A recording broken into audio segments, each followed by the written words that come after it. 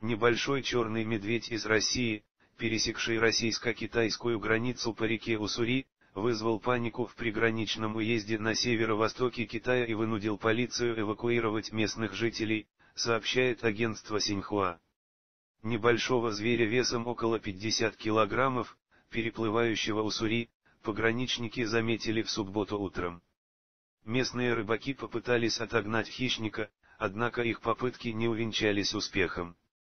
Медведь перебрался на китайскую территорию в уезде Жахэ незваный гость проник в местный парк, расположенный вдоль реки, вызвав панику среди посетителей и вынудив полицию эвакуировать местных жителей. Медведь, вероятно, также перепуганный, забежал в один из домов, сообщает агентство. Китайские специалисты усмирили нарушителя спокойствия анестезирующим средством, после чего выпустили обратно в лес, вдали от заселенных районов. По сообщению агентства, с 20 августа на территорию Китая из России пробрались четыре медведя. Власти следят за остальными тремя, которые были замечены в хлебных полях.